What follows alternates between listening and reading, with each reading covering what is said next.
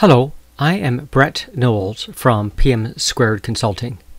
This short video introduces how you can use the 7 Geese OKR software package to implement the concepts embodied in the Balanced Scorecard framework. I assume that you already have good familiarity with 7 Geese, and this video is not intended as a 7 Geese training video. So first, let's do a quick refresher on the balanced scorecard. The concept behind the balanced scorecard is providing a view of the four key perspectives on organizational performance. Financial, what are financial goals and how well are we meeting those? Internal, what are internal processes, how well are they performing? Customers, what do our customers want, and how we're meeting those needs, and learning and growth, which uh, came from the work we are doing with Peter Senge, taking a look at how organizations learn and organizations grow.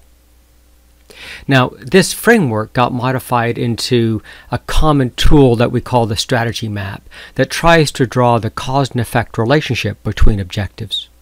So, in the private sector, our goal is to achieve financial success. To do that, we need to make our customers happy. To make our customers happy, we need the right internal processes. And to have the right internal processes, we need the right enablers, competencies, culture, and enabling structures. And so within the balanced scorecard framework, we should be able to answer our strategic goals within this framework. So a common example that's used is some early work we did with Southwest Airlines in Southwest Airlines, if we ask ourselves a question of what's going to drive operating efficiency, the answer was more customers on fewer planes. So, as a strategy map, we draw it like this if we had more customers and fewer planes, we would enjoy increased profitability. Well, that's the financial goals. What do our customers want? Well, uh, simply put, there's a segment of customers that wanted low ticket price and on time arrivals. So our hypothesis looks like this. If we had more on-time flights, we'd get more passengers. And if we had a lower ticket price, we'd also get more passengers. Now, it's important to note that these objectives work in conjunction with each other. So we're looking at how to have fewer planes, lower ticket price, and more on-time flights. And those objectives appear to conflict with each other. How Southwest solved the problem is with their internal processes focus on faster turnaround time. So if we could turn the planes around faster, it means we could operate with fewer planes, which means more planes would be um, on time because we can turn them faster. And between fewer planes and on time flights, we can offer a lower ticket price or increase margin to attract more passengers. And underpinning that was all about educating and compensating people for cycle time reduction. So this is a strategy map a core tenet of the balanced scorecard. The next thing we need, to do is to prioritize these objectives. So by the time uh, year five rolled around, we had the principal weighting 50% between fast turnaround time and on time flights. So to begin with, we had a high weighting on process redesign, that was like 50%. And then once people got trained on it, we began to see some operational benefits for the training. And then by year five, we moved the uh, key indicators and priority up to seeing some financial benefits. Now, those are our strategic goals that we need to capture inside of Seven Geese and our priorities.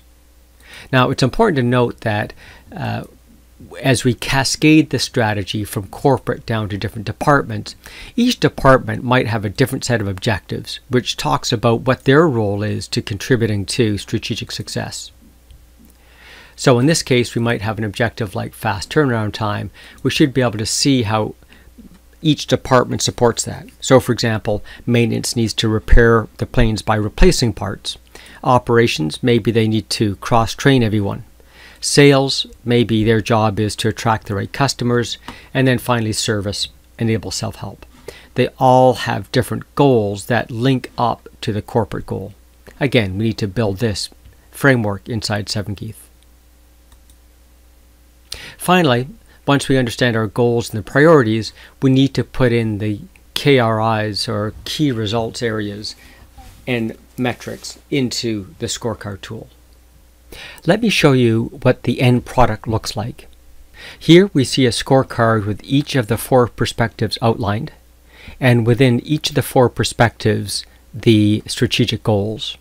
In fact, within each of the strategic goals, we can then drill into the cascaded objectives which roll up. So that's the overall goal we're going to head towards. Let's break down the steps. Basically, there are four steps. First, we need to create the four perspectives and use them as labels inside the tool. Second, to create an organizational objective for each of the strategic goals from the strategy map. Third, adjust the priorities across all those strategic goals to match the strategic priorities from the strategy map. And then finally, create the drill down, the departmental and personal objectives for each of the supporting activities. So, the first step create the four perspectives as labels.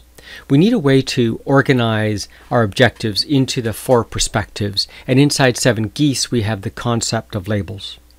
So to create the labels in 7 Geese, if we just go into Organization Settings, within that you select Objectives. And then within Objectives, you can create the labels that you want. The labels are pretty straightforward to set up you merely put in their name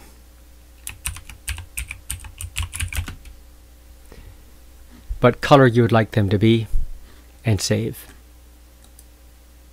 Now what I've done is I've also numbered them and I've done this so that when several, 7 Geese shows them to us they show them in the sequence I would like. So I create an overall category for corporate so I can add up all the objectives.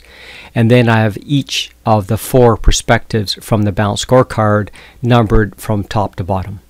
Secondly, we need to create those organizational level strategic goals. There are several places within 7 Geese where you can add in new objectives. The screen I'm looking at is achieved by clicking on the objectives header and then choosing new objective. Now within my objectives I always number them by the perspective and you can see here it tries to intelligently guess what the objective is that we're creating. Since I've already created drive sales, I'll just create a sample one that I can delete later. And if I want, I can put in specific key results against this objective. Now later on, I may also create some children, some drill down metrics associated with it. So in this case, if I have an objective like drive sales, I might have a, a result like uh, and again, we're trying to use a smart objectives here. So we want to make sure that it's uh, specific, measurable, attainable, and so forth. And so in this case, I'm going to say for this quarter or this cycle, I want sales revenue that's greater than, let's say, uh, I have no idea, $10 million. And then over here, I can establish the unit of measure. So in this case, I'm going to choose dollars, and I want to range from zero revenue up to let's say 20 million because that's as high as we can go. And I can do other things like set reminders. More importantly, I'm going to look for additional details where I can put in the description. In this case, we're going to link it to the perspective. In this case, that's a financial objective. And it has no, um, I guess that's untrue. The parent this has is that overall corporate objective. So I can, I've previously created that objective. I can put it in as a parent. I'm not going to worry about children yet. Now this is an important step. We're going to change it from being a personal objective to being an organizational objective. And you see it then earns a purple icon. And I'm going to go ahead and save it. So that's all there is to creating a corporate objective and you can see here it shows that we've got the corporate results, and then this is one of the children. Now I'm just going to quickly show you what that looks like. If I go back to that overall organizational view, you'll now see that I've added in a second objective of drive sales that shows up here. Now I'm going to delete this because I don't want it, but you can see how easy it is to create that parent, that relationship inside of the perspective. So we just repeat this process for each of the strategic goals. Third, we need to adjust the priorities across all of those strategic goals to reflect those from the strategy map and even the cascaded strategy maps. Again, there are several areas within Seven Geese where you can adjust weighting. I find the easiest one to get to is if I go into cycles and then within cycles, it's important that you choose the right period. So if I choose the quarter that we're working on, I can just select adjust weighting within the objectives. Now I'm just going to minimize the screen. On the right we have the strategy map that we were working on before and on the left we have the list of objectives currently linked to me and we have already adjusted the weighting. So the weighting adjustment is pretty straightforward. I can just take any of these objectives and adjust the weighting to where I want it to be. Now, what Seven Geese does is automatically shifts them relative to each other so they add up to 100%. Now, some of the objectives I've put in I don't want to wait. So, for example, increased profitability has no weighting in the traditional scorecard for Southwest. And then the other ones, I've approximated the weighting just by sliding them until the proportion is roughly correct in according to the strategy map. So this is pretty straightforward. It comes out with um, a pretty good approximation of what the weighting is and allows you to shift this quarter on quarter based on what shifts in strategy might occur. Now I should touch on for a moment where the weighting impacts us in Seven Geese. So if I go back to the objectives view, what I see is it provides for me what my overall performance is, in this case 49. Now the 49% is based on the weightings across these objectives. So as we've set the weightings on each of these, it looks at the performance of each of these objectives and based on the weighting calculates the overall strategic performance level. So in this case, if you recall, I had a 0% weighting next to increased profitability based on the strategy map. So this 10% has no impact on this 49. But these two are weighted based on what I just showed you and therefore contribute to this overall performance level of 49%. Finally, we need to create the cascade, the departmental and personal objectives for each of the supporting activities, be they be processes or projects. So let's say I wanted to add a new child objective to on-time flights. Again, within the objective menu, I'm going to choose new objective. And in this case, I'm going to create one that is related to on-time flights, which might be something like um,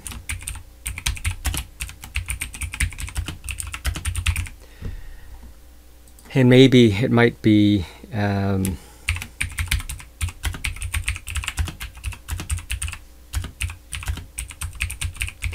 something like uh, jetway within 10 minutes. A jetway is a thing that attaches onto the side of the plane and this is going to be another number. Now we want 10 minutes but here's an interesting issue. This is a case where high numbers are bad. So let's take the worst case, let's say a 20 minute delay down to zero. Now, in this case, it will give us a better score the closer we are to 20 minutes. And again, we can do more options. In this case, we're going to outline their parent, which happens to be, I think we chose uh, on time flights. So now I've chosen that as a parent. Uh, it doesn't have any children. I've created this as a personal objective. Maybe I'm going to set it up as a department.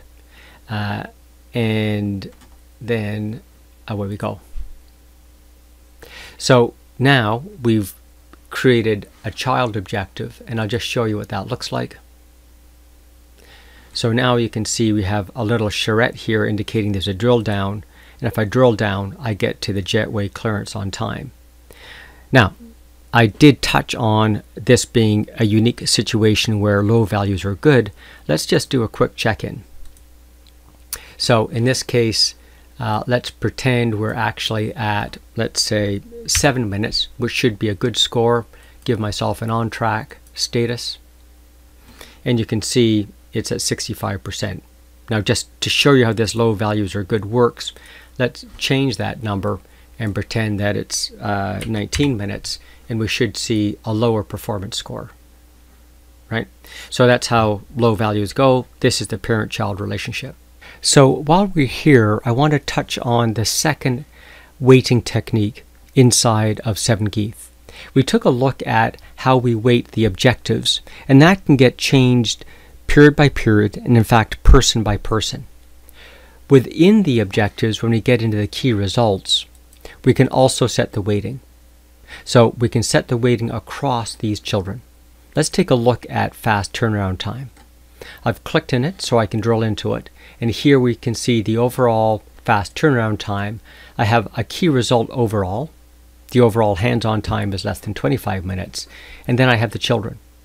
Now within the children, I've got uh, faster ground time, faster fueling, and fast galley servicing. I can adjust the weighting on each one of these. But when I adjust it, it adjusts for everyone that uses this objective called fast turnaround time. So, and I can scale the weighting for each of these from highest to no effect. And if I change them, you'll see that it gives me a little symbol to indicate.